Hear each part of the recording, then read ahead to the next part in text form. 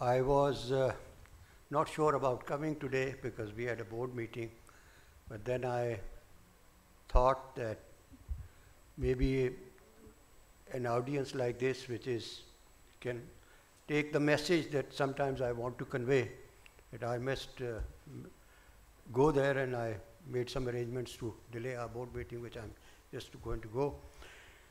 Uh, I'm grateful to the Institute of uh, Certified Accountants to invite me. Also, Robert Stenhouse, discussing uh, about you know my early days in UK and uh, Lady Margaret Thatcher's time. So I, I really wanted, uh, and I saw some of the um, the pictures that you showed. One thing was very surprising, and that's where I think I'll start you showed almost all the successful people in Pakistan, from sportsmen to Malala, you know, Yousafzai and everybody, but there was not one businessman that you showed. Now, until and unless you don't have successful businessmen, you cannot have an economy and you cannot have a country. And we need to start with, you know, even if you go out, you won't see a single road in this country in the name of any prominent businessman. So there is something wrong somewhere, you know, that we need to uh, sort out, you know, here. I don't want to boast, but uh, I think if you look at Google, I am the largest taxpayer in the country. In fact, I am honored today. Three of my children are getting the an award from the Prime Minister for being the top 50 in the taxpayers, three in, from the same house. we employ more people than any other company. In fact, the only bigger employer than our group is the Pakistan Army. and we are also the biggest exporters out of this country also. So I want to request you, because this audience, audience can carry the, the message, that success is not bad. Being successful is nothing wrong with uh, it, you know. Uh, creating wealth and creating jobs and all the other things that come with it. You know, these are the things we need to honor and we need to, you know, tell people that we need to have. It's like the accountants, you know. And again, Mr. Stonehouse, I was telling him, that in my view, I've worked with accountants who have come from Europe.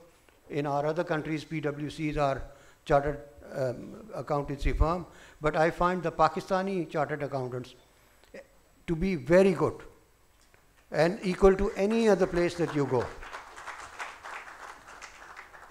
Coming to the, uh, the point that uh, prospects, uh, like you showed uh, the GDP growth and all this, you know, this is the country which I really think can be epicenter of the world. Can you imagine geographically, from here 20 minutes, you have the Indian border. I flew in from Kabul the other day, it took me 38 minutes. You come down from Tashkent, it takes you 1 hour and 40 minutes, the same as to go to Karachi. I have been to Urumqi, one of the bigger cities on our side, in two and a half hours, you are in Urumqi. And you can go in the morning and come back in the evening from China. China is basically a landlocked country. If you just look at the coastline, other than that, the only lifeline to them is the port of Gwadar, which they are very sensibly making. So, geographically, there is no country as good as ours if we put our act together. We need to become business friendly. The other day, I met up with some people in Pindi, very high ranking people, and I said, why do you not you give visas to people? What will happen if somebody comes here? If an American wants to come here or a Britisher wants to come here, it takes a long time to him to get the visas. Fortunately, they've changed that now. If you go to our airports, they look like thanas. Why can't we privatize our airports? Gatwick was recently sold uh, to a French company, UDF, about two months ago. Heathrow is owned by a Spanish company. What's the problem? So these are the things, you know, if we do not have an expanding economy, we'll have unemployment. Unemployment will create all the issues that we are facing right now. We need to, two and a half million people are coming into the job market. We need to provide them jobs. Whatever you do, if you don't, there'll be other consequence also. To develop the, what is called the domestic commerce, we need to do a lot more construction. For that, we need a lot of land bank and regulations have to be changed. I've made the biggest mall in Lahore, and having made it, now I would never do it again because the LD would stop me on when I, if you make a building in Lahore, when you come out of the basement, they have to come and check. It takes about a month to do the checking. While the contractor is sitting mobilized and he cannot move. Then after 40 feet again and then again. If you are lucky, you will go through all this, you know. Why can't we reduce the regulations? Why can't professional companies come and certify that this building at the plinth level is okay? When we go up, it, it, it's, there are no flaws. Why are we creating unfriendly practices to people? When you go to land, there's no land bank. Railways own, owns 161,000 acres. Civil aviation. And so many uh, organizations that they are owning land, give it out. Reduce the price of land, create more land so that people, construction industry can create 40 different industry jobs in 40 different country, uh, uh, companies. Cement, steel, fans, air conditioning, whatever you say. So you need to really now let people work. All the regulations on all these, you know, the things that we are talking, and then we need to become business friendly. There's a guy who would, um, who is a, let's say, a towel exporter from Pakistan. He goes to the United States, he invites his uh, buyer, please come to Pakistan. So he will go there and say, well, is this Pakistan safe? So we say, yes, yes, it's a very safe country, please come here, you know. His wife will probably say, are you sure you're going to Pakistan? So the poor guy ends up coming to Pakistan. He comes on Emirates, Qatar, or Etihad. He comes there at, during the night because PI has to be saved, and all the slots in the evening have to be given to competitive airlines.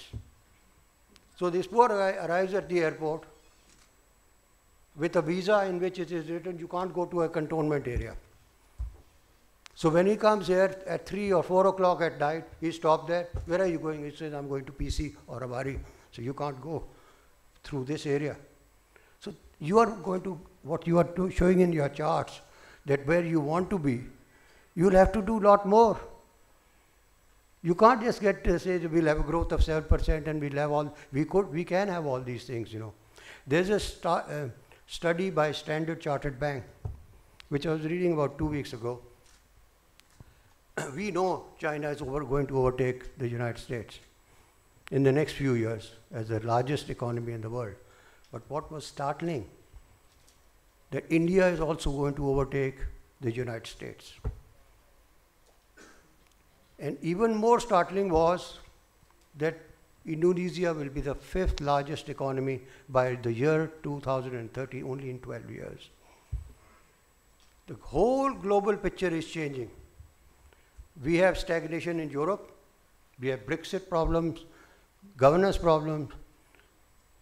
We have a president of, of France, Macron, having been stalled by all the demonstrations they are having economy is slowing down. And one of the reasons Macron is in problem because they have not been able to grow enough to create prosperity for people.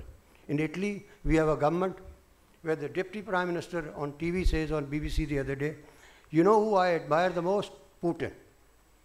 So this shows that governance is very, very important. While the entire spectrum of development is moving eastwards, we'll have Indonesia, we'll have Vietnam, we'll have Malaysia, Thailand. The markets of these countries in the next few years will have a bigger buying power than the entire Europe. This is what is going to change. We need to be part of that development. We need to improve our relationships with countries. Can you imagine, and hopefully I do, that Afghanistan issue will be resolved? And when it is resolved, we could get the benefit, as I said, to go to Tajikistan, Uzbekistan, and all these countries, which also are landlocked and have very educated people and huge amount of resources. But we have to, you know, start somewhere. This is a great country for, for example, starting, we could have religious tourism. A lot of religious sites here for a starter. People would come here. Let's create more hotels. Let's create more friendliness at the airports. If you have an airport in like Lahore and you improve it like Dubai airport, for example, people would be coming here. The airport will be a business hub. Somebody coming from America would like to come through Lahore because the dentist is very expensive in South Carolina. She doesn't want to spend $3,000. She wants to do the job in $300. So she'll make a flight which will come into Lahore where she'll have her dental work done. So, you know, we need to now create businesses. And to create businesses, you have to become business friendly. We need to have less regulations. I mean, I am a senior citizen now, by the way. I go to a government department, even in the department of, let's say, a secretary of a ministry, and I asked to talk to somebody. Before I open my mouth, he would say, ऐसा नहीं हो सकता मैंने कहा यार अभी तो तुमने मेरी बात भी नहीं सुनी So I can get away with these things, but you young people now and the people who are important people must talk about these things. Do you know how many cases go to the Supreme Court of America? 80. In the entire year, 80 cases go to the Supreme Court of America, which means decisions are taken. If we could have, and they're all my friends, the top people in the judiciary, if we could have resolution of disputes. Can you imagine thousands and thousands of cases are lying? Last night, uh, Mr. Shabbar Zaidi was on the television, and this guy was asking him if so many hundreds of billions are stuck up, where the FBR has to recover this money. So Shabbar is a very smart guy. He said, Why, how do you know that all these cases the government is going to win? And you are telling the public here so much money you're going to recover. Why don't you tell them all these cases, if an ITO, uh, you uh, make a point at the judicial level, he will go to appeal, then you go to High Court, he will go to, again to appeal, then he will go to, he says, I can't go and face the NAB, I might as well go and appeal everywhere, you know. The best businesses in this country are all lawyers. They are really doing very well. So, I mean, let's do what we, you know, I mean, uh, look at how we can make, you know, let's, and also let's create some success stories. One million tons steel mill made by the Soviets in 1964 is going to be revived. Today, there is no steel mill worth its name which is less than 30 million tons. How can you revive this mill with Soviet equipment of the 60s? Ye myths ko chhod de. Whatever we look at us, I mean, we, we have success stories also.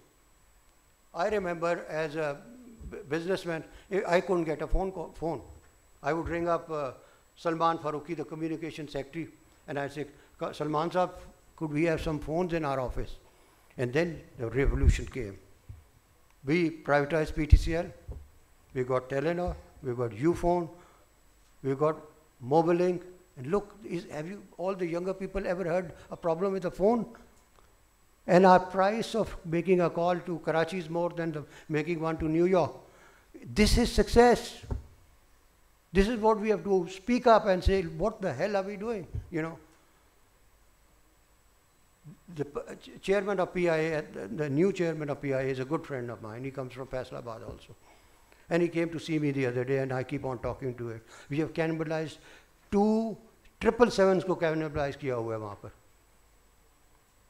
With so many people in that airline, and you know all the things that we hear, if you don't have an airline, it, you're not going to get tourist industry also. Whenever you come into a country, every flight is delayed and all that, you know. So let's the message go from you people also that we need to have efficient and these losses that the government, uh, every seven, eight years we go to the IMF. We go back to the same thing, the same problem, the real problem is never cured.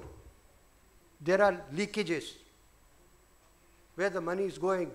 For example, the biggest leakage is the DISCOs of Pakistan. When you put in electricity, let's say 20,000 megawatts, 70% is paid out. Billions and billions of rupees are circular debt is being created every day. So what's the problem? You don't want to privatize politically, don't do it. Create a competition. In Delhi, there were 58% line losses. And then the government got fed up. They brought in Tata, Reliance, Essar, three companies, and created competition. And today, line losses are down to 8%. What is the problem in Lahore if we can have two more utilities? Why do we have to have only, let's keep it. Two more competitive companies will come. Either they, they will swim or survive, we don't know. But the fact of the matter is, let there be a competition. Let there be, it's public money, you know, which we could be spending for our development. So why are we throwing away all these resources? Nothing will happen. I can guarantee you, you create competition, no labor is going to come out and say, you know, this will happen or that will happen, you know. So isliye, and also let's be generous to people who have done work. Islamabad Lahore motorway was made with an investment of 29 billion rupees. I just completed a cement plant in Hub for 445 billion rupees, you know. So that's what a great deal we had, you know. And we are talking about corruption and all these things, you know. Whatever we have made, look at it. Now on the television, I hear all the time, we took so much money. Where is the money gone? Well, look, if we have had some of the best power projects, LNG projects, the coal waste projects, you know, on one side you have borrowed, and one side you have assets. Nobody talks about the assets.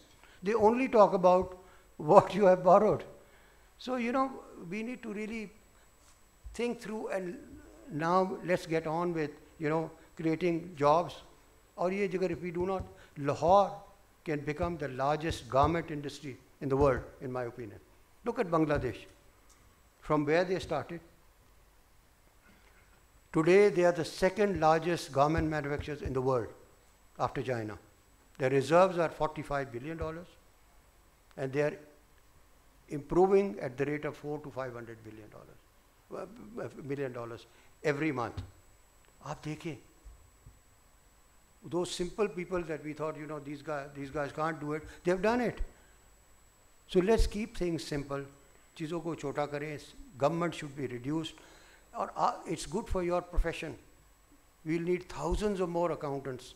We'll, need, there should be so much competition about, you know, jobs and all that that we, we can't secure because there are not enough people. So ye chari cheezon ko and that's where I think we need, let's improve our relations with the rest of the world. There are no enemies. Hitler surrendered in 1945 Japanese surrendered in 1945. And look at where they are today the Marshall Plan or MacArthur's development when what he did after the war. So my um, message to you people is that you, because you are very influential people, you are professionals, you have relationships everywhere with politicians, um, the armed forces, bureaucracy. So I would suggest that ये message दें लोगों को कि लोगों को काम करने दें। Thank you very much